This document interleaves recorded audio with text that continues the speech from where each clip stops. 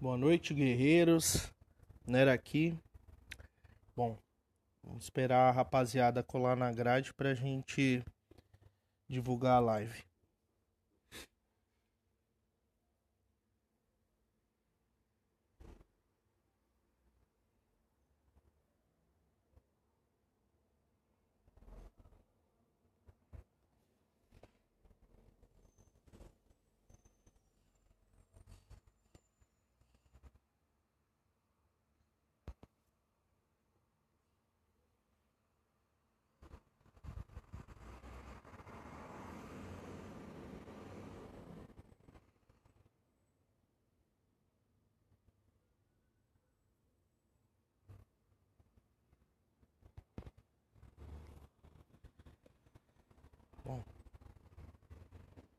Já mandei pra rapaziada. É, pra gente não enrolar muito, né? Eu tenho que fazer aí também as minhas missões diárias, que como sempre eu deixo pro final, né? E aí, rapaziada, beleza? Salve geral. Engraçado, esse bate-papo ele avisa só depois que chegou a rapaziada. Tava aparecendo pra mim só dois. Ou eu que não reparei, né? Tá baixo, mano? Pera aí.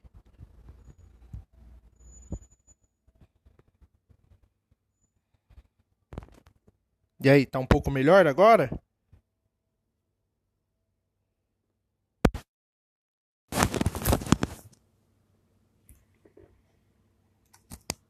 E aí, melhorou o som?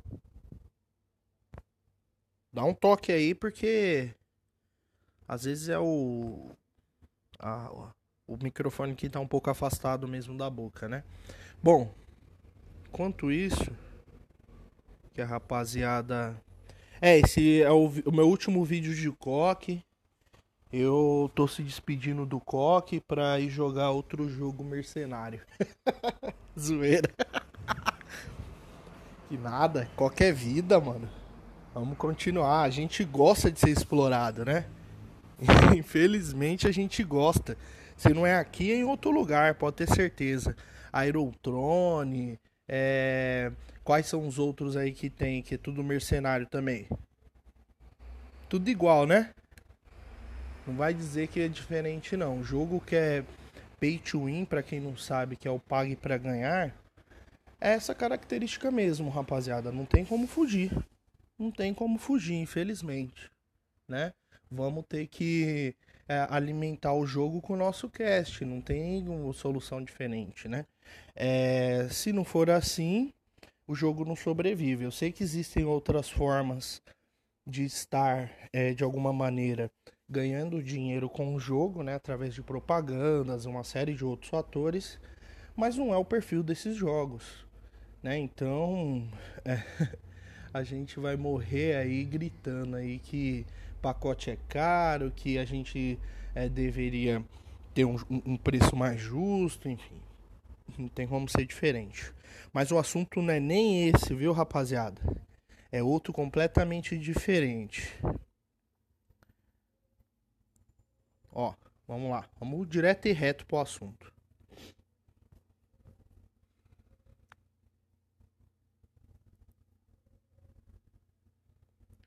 Tomei essa brincadeira aqui na, no KVK e eu queria explicar para vocês o que, que aconteceu. Né? Não foi uma coisa muito feliz, não, mas infelizmente é por uma questão assim, o pessoal pode até falar, né? Foi uma nubice, né, Nero? Pode dizer. e realmente foi, né?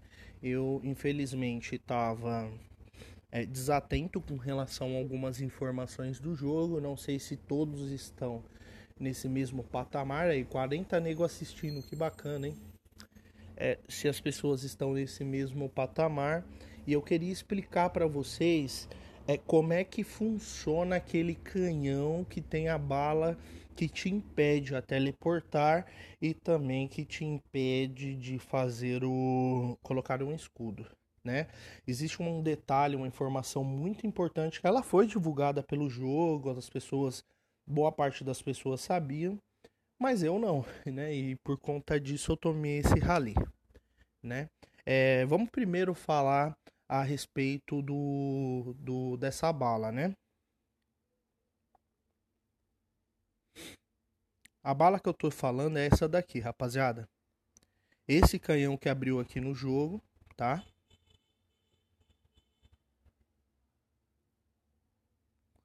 Bala de restrição. Então, eu não sei se todos receberam um, um, um, comunicado do jogo, imagino que sim, onde explicava aí um pouquinho sobre essas balas, né? É, o som tá bacana, às vezes eu tô afastando aqui o microfone, tá bacana, rapaziada?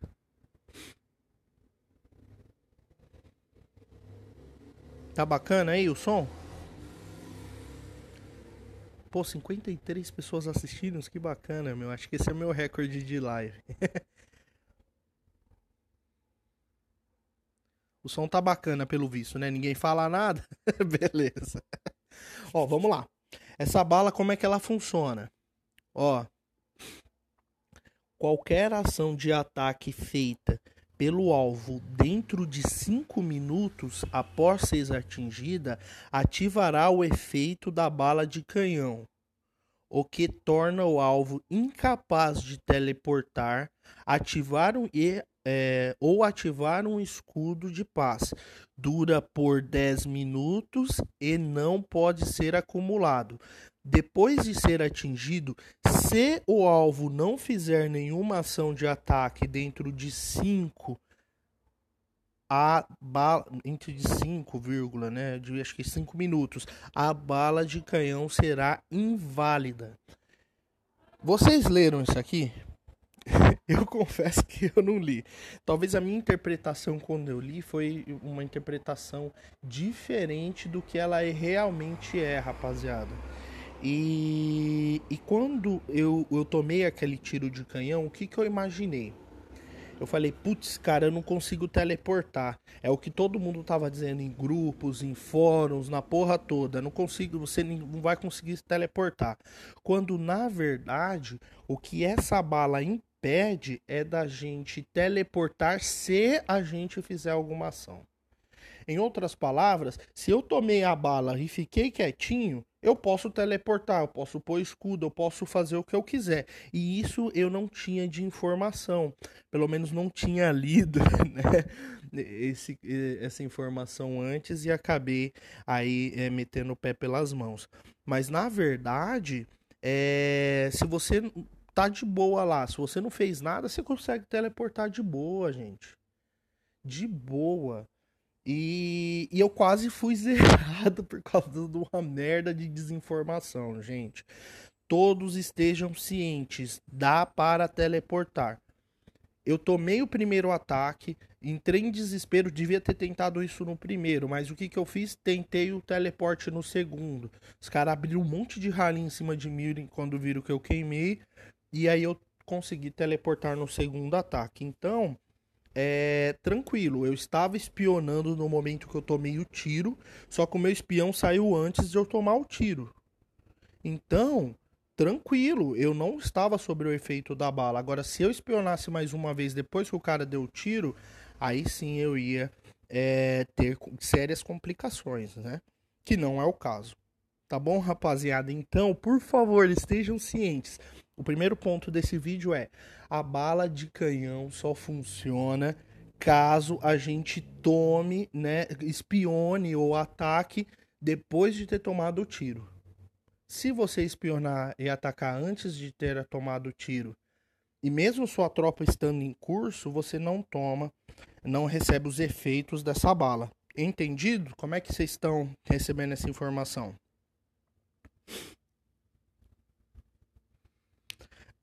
o Matheus aí. O Wesley parou de jogar, mano. Já era. Para nada, né, mano? É só frescura no rabo. Desculpa aí o palavrão, rapaziada. Hum. Então, é isso, pessoal. É, esse é o primeiro ponto do vídeo. Agora, com relação ao rally, vamos explicar um pouquinho. Eu tava lá atacando as farms do desse chinês aqui, Ele é o rei do reino 1155. Roubei mais de um G de madeira, tá bom? Ele tinha um monte de fazendas que coleta automática que deve ter acabado o escudo, porque senão ela tinha levantado o escudo sozinho, que tinha 40, 50, 100 M de madeira, 2 M de ferro, e eu comecei a atacar, roubei tudo. E aí o cara quando viu ficou possesso, ele ficou maluco, gente. Ele me, me primeiro, vamos, vamos começar pelo início. o cara ficou tão doido que ele falou: "Filha da mãe", Puf, mandou uma skill 45 tomei no rabo bonito, né? Porque o que que ele fez, ó? Ele mandou uma skill 45 de cavalaria. Minha cavalaria, modéstia à parte, não é fraca sem o herói no muro. Ela tem uma cavalaria bem interessante. Mas a cavalaria do cara, sem herói, é quase 600, né? De, por cento de, de, de cavalo. Então é bizarro, né? A saúde do cara 166, ele tem um dano aqui de cavalaria que é bizarro também, ó.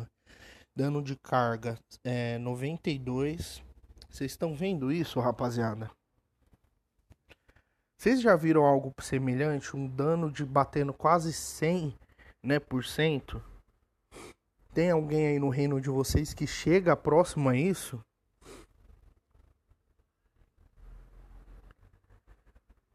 Salve. Suave Nero. Tá no meu grupo. Ele parou, doou um PC. Na guerra passada, meu rei tomou, zerou um PCs com recurso. Da... É isso aí. Mas então, rapaziada, é, é um dano considerável. Eu não chego nem perto do cara, meu. Meu dano de cavalaria é 11, ó. E aí, meu, na XP45 não deu nem para brincar. Esses caras aqui, ele é pique é, aquele Mr. Noob lá. É, esses caras aí que tem um percentual maluco, sabe?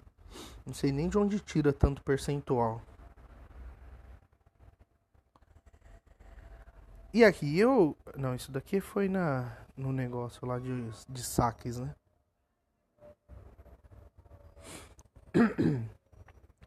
E aí, rapaziada, ele ficou possesso. Ele falou: Não, você não pode me atacar. E pum, mandou essa bala. Deve ter gastado horrores para fazer essa bala. E, e, mandou o ataque, né? E aí, no ataque do Rally, eu, eu fiquei em, bastante, em maus lençóis, né? Só para especificar aqui o percentual, olha só. 70 pessoas assistindo, que bacana. 739 de, de infantaria. Não é uma infantaria pequena, não. A minha infantaria modéstia à parte, de quase 600, é uma infantaria que eu, assim, que impõe respeito. Vocês não concordam? Impõe respeito, né? Não, mas aí se ele foi zerado com essa bala congelante, é aquilo que eu expliquei no início da live, Wilson.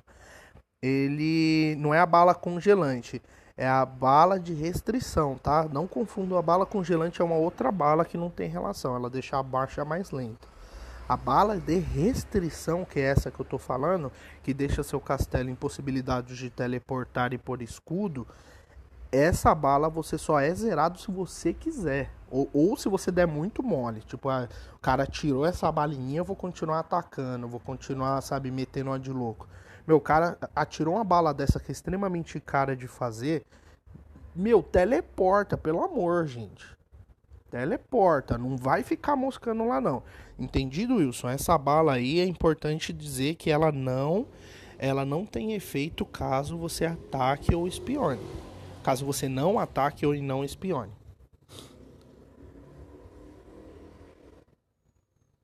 Então, é, é essa mesmo, né? É a bala de restrição. Então a bala de restrição, ela, o seu amigo deve ter moscado ou ele não sabia que nem eu. no boa aí que nem eu e não leu o, a recomendação o, ali do da bala, né, no Clash of Kings. Enfim, né? Eu também tenho o direito de nubar, não é porque eu tenho um canal no YouTube que eu não tenho dire esse direito não, viu, rapaziada? Então é isso, ó. Aí, olha só. né? O cara tem uma infantaria de respeito, é uma coisa miserável, né? O mais impressionante, que é uma coisa que eu particularmente valorizo muito no castelo, é a saúde. E a saúde do cara tá 214. É bizarro a saúde de infantaria. Praticamente os soldados não morrem. Se o seu escudo ele é impenetrável, que é a infantaria, é, para você chegar nas outras tropas é praticamente impossível, né? Esse é o ponto. Então ele tem lá uma infantaria muito bizarra. Minha infantaria de saúde, comparando com a dele, é menos 50 ou 60 pontos, né? É... 50 pontos para ser preciso, né? Abaixo. Não é pouco. A minha infantaria também, modéstia à parte, é muito, mas ele, ele tem uma, assim, um, um, um percentual bem considerável. O meu arqueiro, é, vou até explicar esse relatório, tá? Quando eu vi que eu tomei essa bala, eu entrei em desespero lá que eu falei para vocês. Eu, a primeira coisa que veio na minha mente, eu falei, cara, meus caras vêm sério, eles não estão brincando. Quando eles abrirem um rally, o cara vai soltar o assalto pra cima de mim e eu vou ter, tentar defender. É a única coisa que eu posso fazer. Os caras da minha aliança não, não viram, eu tava em outro reino, não ia dar tempo de nada. É, até porque tem pouco castelo no meu reino. E eu tentei defender. E o que eu fiz foi meter um bonãos lá de é, 50%, né? Onde eu consegui levar os meus arqueiros para um, um patamar diferenciado, né? Hoje eu já tô com mais. Se eu fosse usar o mesmo bônus, eu chegaria a 781, tá? De, de ataque de arqueiro, né? Mas na ocasião eu tinha esse percentual, né, que foi na última batalha de reinos. É, é um percentual extremamente interessante, principalmente considerando a saúde dos arqueiros e também o dano do meu arqueiro, né? Isso é um diferencial importante do meu castelo. Porém, a do cara também é bizarro, né? 931, 229 de saúde e, 62 de dano. O meu dano tá igual ao dele, é a única coisa. Entenderam, rapaziada? Então eu precisei elevar os meus percentuais um pouquinho aí para tentar segurar. É por isso que eu seguro alguns bônus de ataque na minha mochila e não saio usando a torta e a direita. E é isso que eu tenho para dizer do meu castelo, porque os percentuais de carro de, carro de cerco não é melhor nem falar. e comparar com o dele, que é coisa de outro mundo. Até porque eu também não foco nisso. Ah, e meu ataque defensivo e defesa defensiva 67 ambos e a, o, a, o similar, só que no caso do ataque, o ataque ofensivo e a defesa ofensiva 77 e 71 no caso dele. É, assim, complicadíssimo foi segurar esse ataque. É, salve, rapá, beleza? Vamos entrar nos detalhes.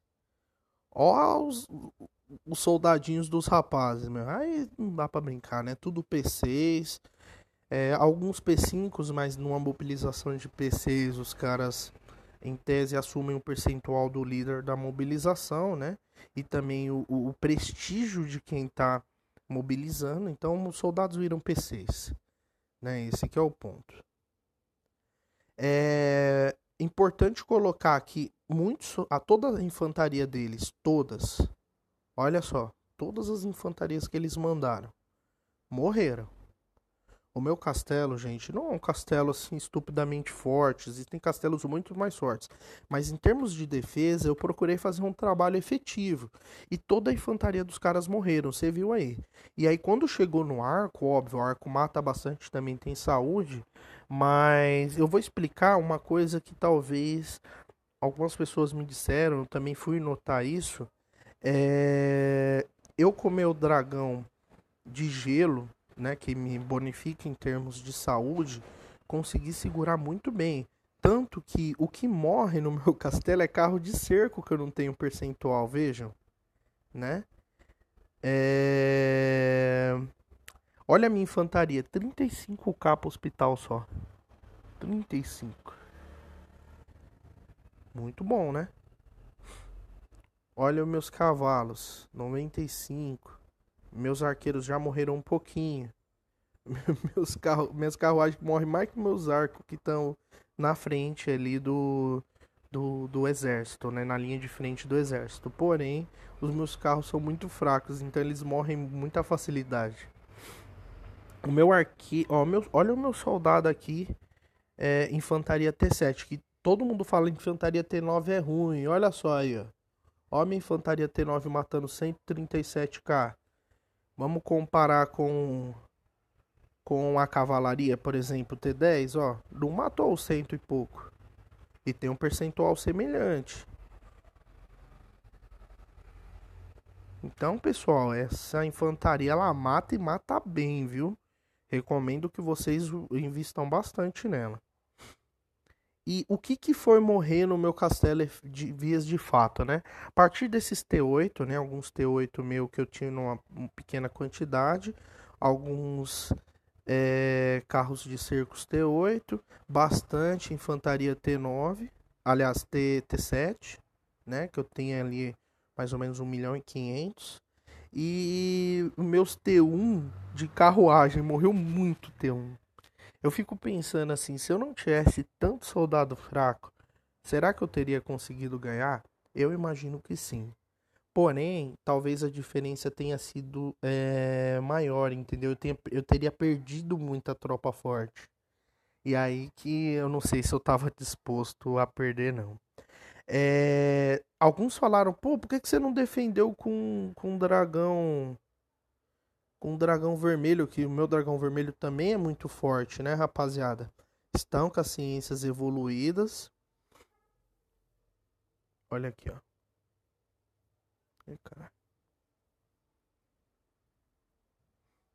Ó, estaca ciências evoluídas e ainda modificar o meu hospital consideravelmente, né? Ó. Só essa ciência que eu precisaria melhorar. Mas eu, eu acho que assim, é pelo menos alguns castelos que fizeram testes, isso é, é uma realidade, tá, pessoal? É, o dragão vermelho eu perderia nessa skill que não é uma skill muito efetiva, essa tal chamas gigantes, e perderia na própria skill é, de capacidade de hospital. Então seria subutilizado em relação ao meu dragão Scarta, que é totalmente voltado para a defesa do castelo. Em todas as suas skills eu ganho percentual, né? Como é que tá? Deu conexão instável aqui. Tá suave? E aí, povo? Tá beleza forte aí o vídeo?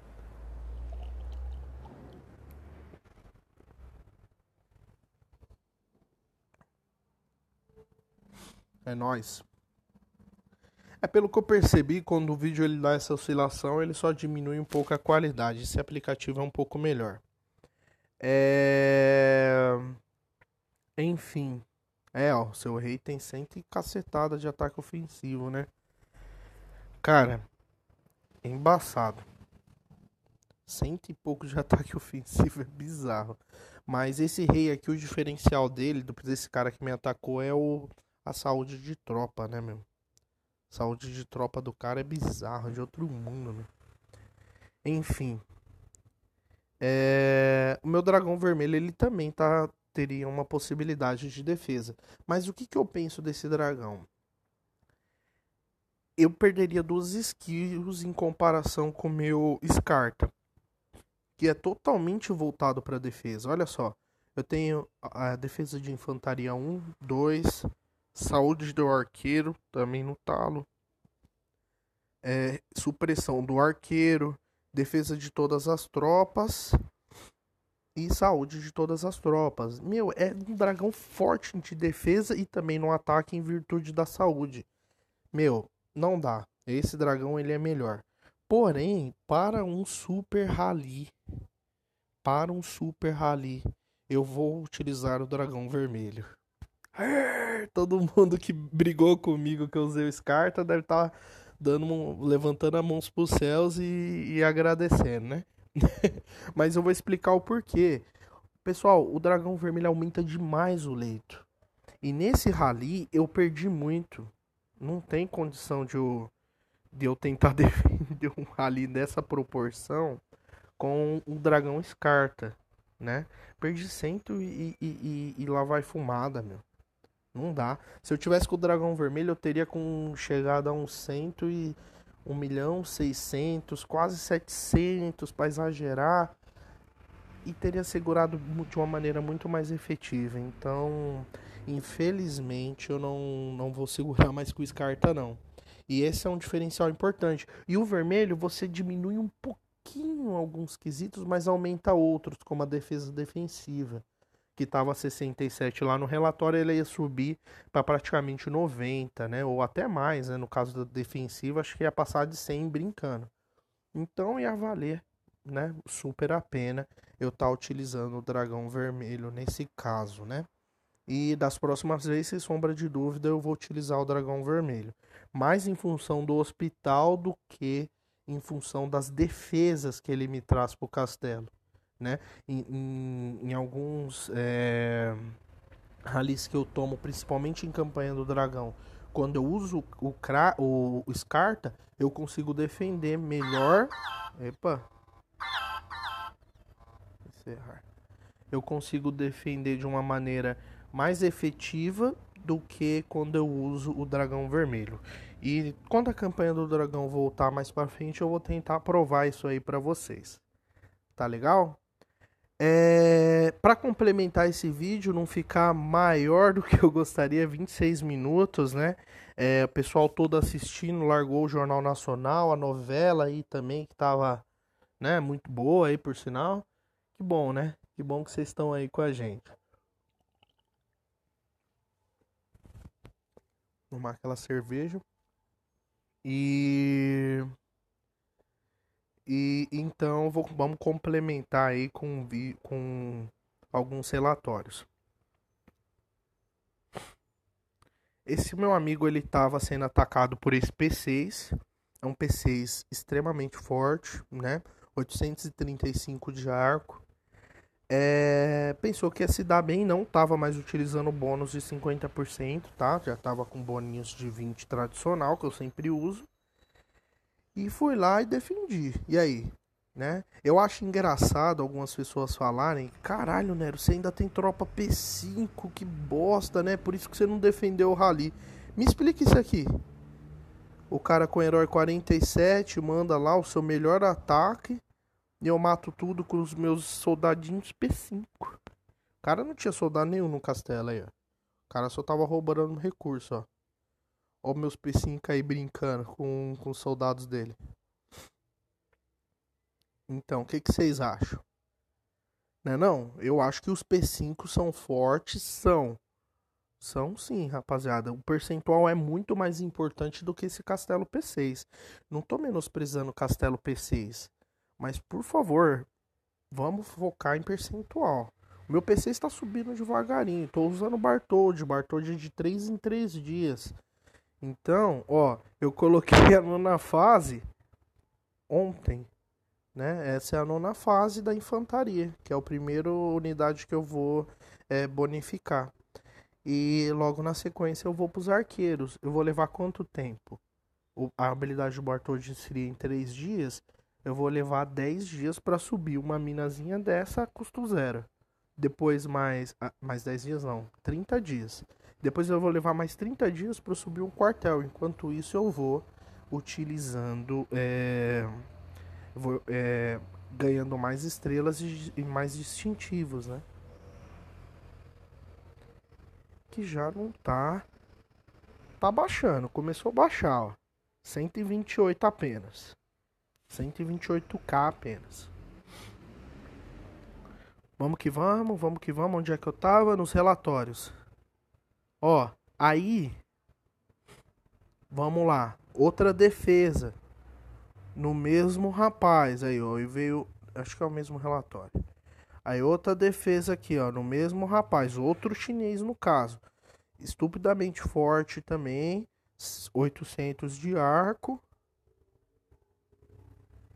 Com seu melhor herói. Tudo P6 e perdeu. Cara vazio e eu lá com meus soldadinhos P5. Novamente. P5 é bom ou não é? Cara, eu tô ganhando de P6 em marcha por marcha. É marcha por marcha, não é tipo um cara que ataca meu castelo a solo. Eu mandei uma marcha, o cara mandou outra. E eu ganhei. Entendeu? Então, e olha, ó, detalhe, a marcha do cara que atacou é maior do que a marcha que eu mandei para defender, tá? Então, eu sou muito melhor na defesa. Marcha por marcha do que o cara no ataque. E vocês podem fazer isso também. Vocês não são P5. Muitos de vocês imaginam que são P5. Então, o que vai fazer diferença não é esse soldado P6, não. É o percentual. Foquem nisso, tá bom? Aí o cara ficou puto da vida porque perdeu uns soldadinhos. Eu, eu cadê? Mandei uma XP 45 daquela violentíssima para descontar o que, o rei do cara fez comigo, né? Perdeu aí 200 casinho, bonito. E detalhe desse XP, eu mandei T11, tá? O cara perdeu todas as T11 dele. Uh... Mas o que?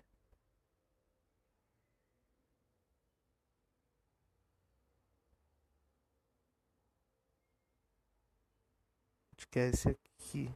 Não. Ó, aí esse cara atacou, eu também defendi. Cara com a marcha muito grande e eu com a marcha já um pouco menor. Atacou com o novo arqueiro 44. O novo herói de arqueiro 44. Ai, que bonito, hein, meu? Eu queria ter um desse. Quem tava defendendo só tinha 30k de T, T9, né? É, carruagem. E eu com a minha marchinha de P5 de novo. Mais o que? Mais o que? A marcha do cara é muito maior que a marcha que eu mandei para defender também, né? E aí, é claro, para finalizar com chave de ouro,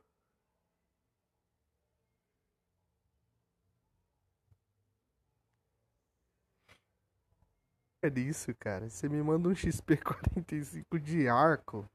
Tudo bem que o arco do cara era muito mais forte em termos de ataque que o meu. Mas olha o meu dano. 46 e o dano dele 38. Fora que olha aqui a minha supressão aqui embaixo. Ataque de arqueiros dos inimigos 14. Eu tenho supressão. Ele também tem ali um pouco de supressão 22, né? Até melhor que a minha mas o dano nesse caso fez uma diferença interessante, bem como a saúde dos meus arqueiros, olha lá. Né? Já o ataque dele já não teve essa efetividade toda, principalmente no ataque ofensivo que era 33 e a defesa ofensiva era 67. Acho que em função do dano e da defesa defensiva eu ganhei esse esse XP 45 de arco contra esse P6 com arcos, infantaria e cavalaria P6. Beleza pura? Eu acho que era isso que eu queria falar para vocês. Em, em, resumo, era dizer que só especificar sobre a bala, né? Do daquele novo canhão que muitas pessoas entenderam mal, né? Esses canhões, né? Eles não são é, tão perigosos assim. É mais se você der um mole muito grande, se você atacar depois que você será é, atingido por um canhão desse. E com relação ao, aos ataques de PCs também aí, que não são tão efetivos se você não tem percentual. Tá bom? É isso, pessoal. Mais alguma dúvida, alguma questão que ficou em aberto? Deixa eu ver aqui o que, que vocês escreveram. É, o Andrezão falou que é mais o vermelho. É, eu também tô, tô assim, pra rally eu tô tendendo mais pro vermelho. Rally direto no castelo. Né? E agora pra é, uma defesa tipo, vai, em KVK, né? Você tá lá no KVK ou numa campanha do dragão. O Scar tá sem sombra de dúvidas é melhor, né? Agora, o vermelho, por ele te dar uma capacidade de hospital assim absurda, gente, vale a pena investir nele. Né? Principalmente para ralis diretos no seu castelo. Mas eu ainda vou provar qual é melhor, viu? Em termos de defesa, assim, dos números mesmo, eu vou provar aí para vocês, né? Para não ficar só no discurso. Alguns colegas que já têm os dragões extremamente evoluídos em defesa de trono já me falaram que o Scarta é melhor, né? Mas também o castelo é muito forte, aí não é um parâmetro de um castelo mais normal como o nosso, né? Beleza? Pessoal, Nero tá devendo a live dos ataques no KVK. é, pode pá, mano. Um dia eu pego um celularzinho bacana pra gente atacar no KVK. É porque eu, no tablet que eu uso pra atacar lá no KVK, é... ele, ele não é tão efetivo, né? Caralho. Preciso fazer missão diária, porra.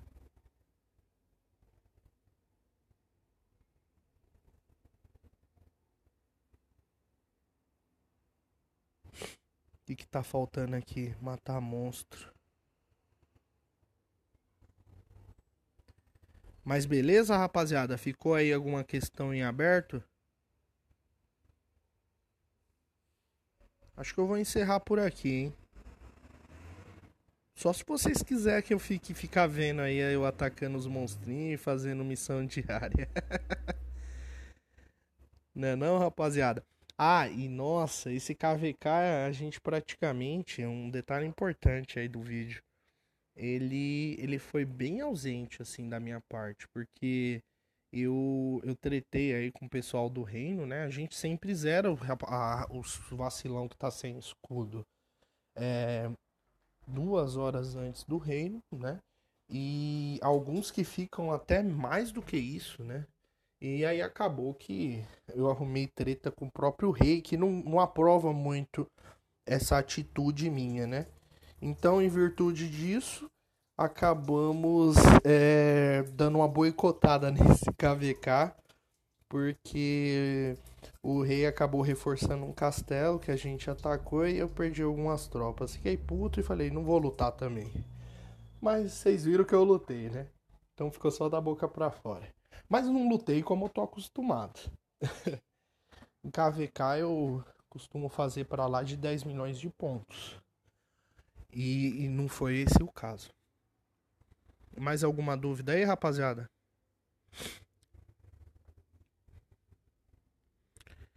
Vou ter que fazer outra coisa para completar essas missões diárias. Mais alguma questão aí? Eu vou ter que jogar um Free Fire aí com a rapaziada. Bora também gravar uns Free Fire aí mais pra frente. Dar uma ampliada no canal, porque nem só de Clash vive o homem, né? Beleza? Eu vou encerrar por aqui, senão a gente não vai conseguir fazer o esquema lá, né? Das missões diárias. Então valeu, rapaziada. Um abraço, fica com Deus, viu? Falou.